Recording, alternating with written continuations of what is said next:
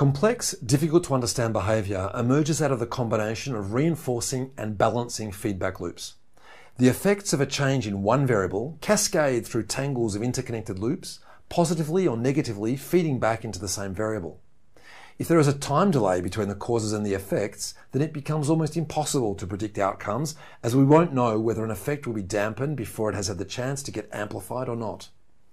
When positive and negative loops are combined, a variety of patterns are possible.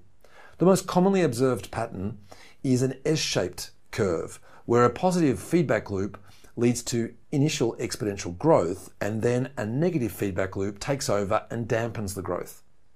Let's take an example from the news. I found this article on Bloomberg.com entitled Netflix Plunges on Forecast for Weakening Subscriber Growth. Netflix is an internet television company that is today present in 190 countries and makes money by selling subscriptions to streamed, proprietary, and third party content. We can see from this chart, taken from the article, that growth in the company's subscriber base has increased strongly since June 2014, as the company continued to expand internationally. Netflix has driven its growth through strong marketing actions that account for around 12% of revenues per year. We can draw the reinforcing loop behind this growth. The performance variable is new subscribers, and the growing action is marketing actions. We should perhaps include an intermediate variable to show that marketing actions are funded with revenues generated through subscriptions. This loop is the main engine that drives growth, and it's a good starting point for our modelling. The company also uses revenues to partially finance the production of content, such as television series and full length movies. In its Q1 2016 letter to shareholders, the company explained that it is investing about 5% of, cash of the cash content budget in original films.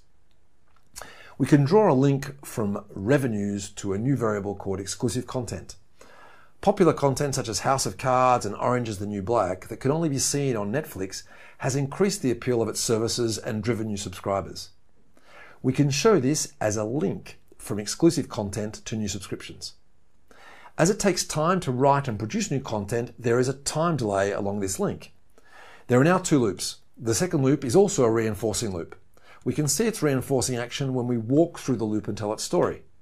As revenues increase, more investment can be made into new exclusive content, which after a short delay increases new subscriptions and revenues. An increase in revenues feeds back to increase revenues even more. If you're not sure whether a loop is a reinforcing or balancing loop, then you simply need to count the number of negative polarities. If there is an odd number, it is a balancing loop. Otherwise, it's a reinforcing loop. Netflix recently forecast a 50% fall in the recruitment of new international subscribers for the second quarter of 2016. According to the article, the company hasn't reached its full potential in a number of countries as TV shows and movies aren't available in local languages. Payment methods are also limited to international credit cards.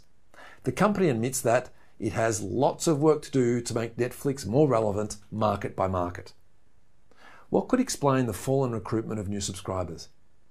One explanation is that as the company recruits new subscribers and increases its subscriber base and market share, it becomes harder and harder to recruit new customers. The size of the market acts as a limit towards which the company's subscriber base tends.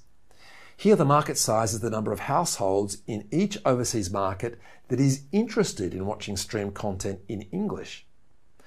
This limiting goal seeking behavior is typical of a balancing loop that we can now add to our model. We can count an odd number of polarities in the loop, which means that any increase in a variable feeds back to be counterbalanced by a decrease in that same variable. When growth slows, levels off, and falls, we know that loop dominance has shifted from the reinforcing loop to the balancing loop. This looks to have happened at the end of Q1 2016. The company also acknowledged that it faced increasing competition from other streaming services such as Amazon's recently announced Prime Video service. As the market grows, other competitors are attracted to the market and compete for market share. We can add this second balancing loop to our model. The difficulties that Netflix is facing can be described with four loops two reinforcing loops that drive growth, and two balancing loops that are slowing the company's expansion. A manager's job is not just to keep the reinforcing loops turning, but it also involves identifying the negative feedback loops that are acting as brakes on growth and finding ways of weakening or eliminating their influence.